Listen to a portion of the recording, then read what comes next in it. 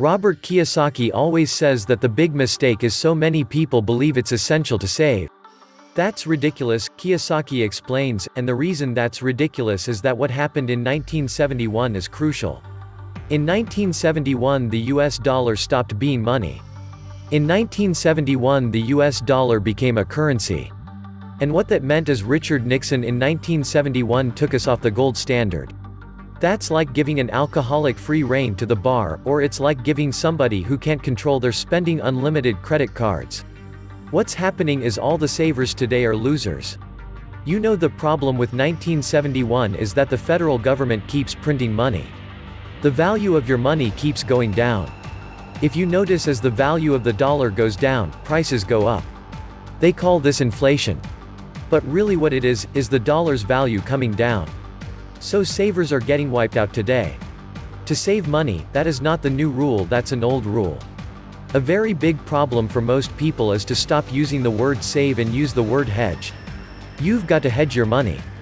Hedge against losses that's why this idea that you're going to tell people you need to save money, that's really an obsolete idea.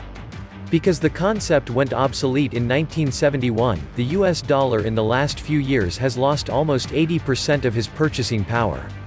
This has happened throughout history. It happened thousands of years ago with the Romans, with the Greeks, with the Germans, with the English, the Japanese, and the Chinese. Every time they've made money into a currency, something you could print at unlimited. Every time they have that has happened, the currency has gone to its true value, which is zero. I am afraid as this economic volatility continues, the savers who will operate in by the old rules of money are just going to get wiped out because the purchasing power of their dollar is going to go down. You can't keep up with the banks printing money. That's the old rule of money, is saving money. And the new rule is a hedge. The reason 1971 is such a critical time, was because the US Federal Reserve became the bank to the world. They could print as much money as they wanted. Never in the history of the world has anybody been allowed to print money for the rest of the world. Every time people have done this, chaos has broken out. And that's why there's chaos in the world today. In 1913, when the US Federal Reserve Bank was created, they were basically allowed to print money for the world. Every time that has happened throughout history, a despot has arrived, for example, in 1933, a man named Adolf Hitler rose to power when the Weimar Republic was allowed to print as much money as it wanted to do. And when Russia's currency broke down, a man named Lenin rose to power. When the Chinese economy broke down, Mao Zedong rose. Today we're at that critical point right now. One of the causes of it was in 1933. This thing called the US Federal Reserve, was created. They've done a pretty good job of making the rich richer, unfortunately, the poor getting poorer. So that's why when I talk to people, I really need them to understand the new rules of money, which really began to take effect in 1971 when we were allowed to print money for the rest of the world. It understands that this system here is causing the rich to get richer and the poor and middle class to get poor. But most importantly, the lower middle class is almost getting wiped out. High prices, volatilities in the market, food getting more expensive, gas getting more expensive, savings getting wiped out, home values going around. And the reason the troubles have started again is the US Federal Reserve Bank is not US, is not federal, and does not have any reserve, and is not a bank. So if you understand that, then you can start to hedge your position rather than save money, and that's a new rule of money. This is why banks are the worst place for your money. Get your money out of the banking system. Now. Welcome to the Atlantis Report. Leaving all your money in a bank account, that is terrible advice. I'm going to explain to you guys why putting all of your money in the bank is a guaranteed way to lose money because of inflation. So first of all, what exactly is inflation? The definition of inflation is a general increase in prices and fall in the purchasing value of money over time. So over time, your money is worthless as far as buying power. A perfect example, let's look at the cost of bread in 1930 compared to the cost of bread today. So in 1930, you paid 9 cents for a loaf of bread, while today, on average, you're paying $2.50 for that same loaf of bread. So the purchasing value of your money decreased significantly from 1930 to 2019. I want you to understand. Your parents are not intentionally giving you bad advice by telling you to save money in the bank account. They are just confused because this is a strategy that worked for them. Because in the 1980s, things were very different. I'm going to explain why that is right now. So this is not necessarily bad advice for the 1980s. It worked for them, but it's not gonna work for you. So for this example, we are talking about a CD or a certificate of deposit. Essentially, you deposit your money, you're not able to touch it for a certain number of years, and as a result, you earn a guaranteed rate of return. In 1984, the average yield on a 5-year CD, where you deposit your money for 5 years, and you can't touch that money, was 12.06% per year. In 2016, the average return on a 5-year certificate of deposit was 0.86%. From 1984 to 1988, the average rate of inflation was 3.5%. And since 2000, the average rate of inflation has been 2.2%. So let's go ahead and do the math on this. If you had $100,000 at the end of 1983, by 1988, due to the inflation, that $100,000 would have the equivalent buying power of $118,769. Now let's say you took that $100,000 and invested it in a 5-year CD at the beginning of 1984.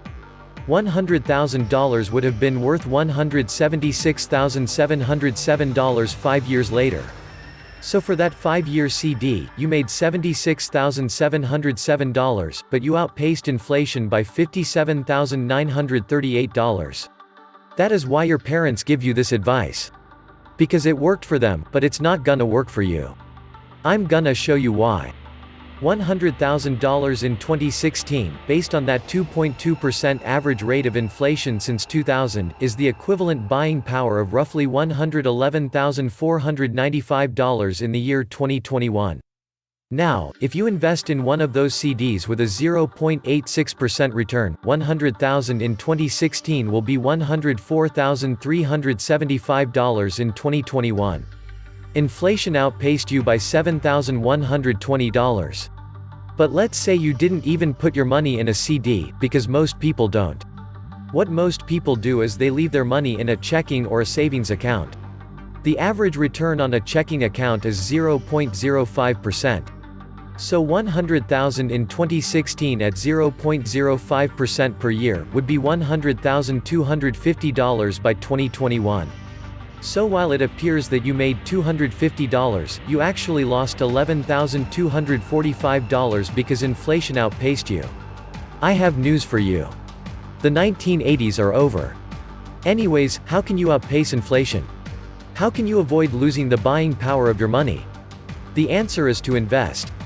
So I just wanna show you one way that you could invest, and this is a very conservative way. So the S&P 500 is a good way to track the average returns of the stock market.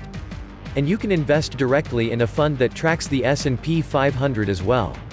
So I know a lot of people out there will say things like the stock market is a losing game, or everyone loses money in the stock market. But just to show you that that's incorrect, from 1928 to 2016, the S&P 500 index had a profitable year 74% of the time.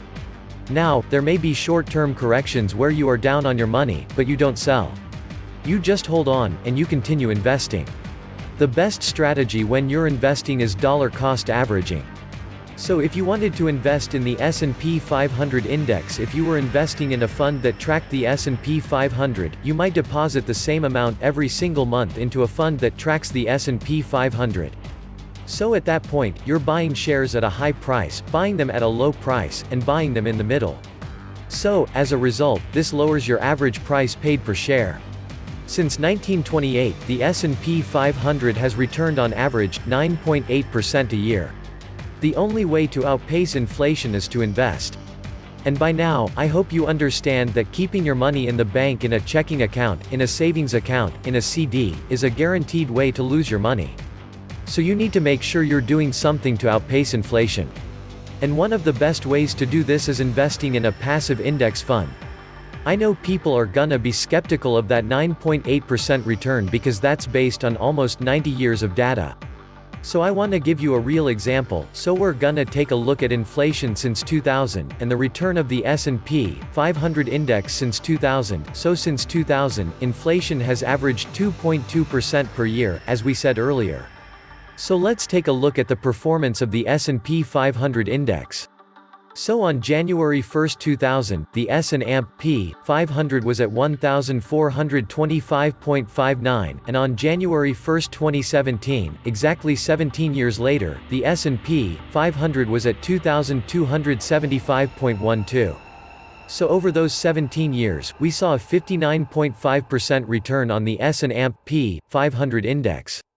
So if you had dumped $100,000 into a fund tracking the S&P 500 index in 2000, you would have $159,500 as of the beginning of 2017. So you outpaced inflation by $14,735. Imagine how much money you would have if you had just left your money in the bank earning a small interest rate. You have to realize that putting your money in the bank is a guaranteed way to lose money. Putting money in the bank account is a guaranteed way to lose money. It is something that people don't understand because your parents are trying to help you. But unfortunately, they're giving you terrible advice by telling you to leave your money in the bank. It's a guaranteed way to lose money, because you are never going to keep up with the rate of inflation, with what the bank pays in savings and checking accounts. Give a man a gun, and he can rob a bank. Give a man a bank, and he can rob the world. This was the Atlantis Report. Please like, share, and subscribe. Thank you.